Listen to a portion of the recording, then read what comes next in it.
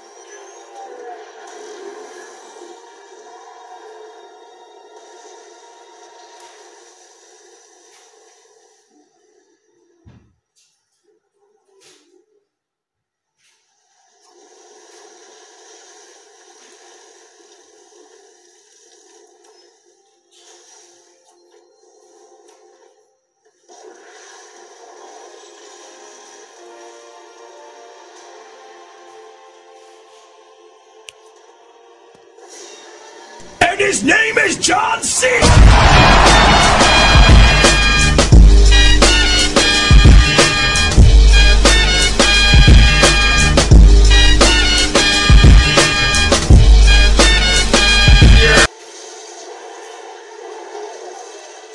Nope.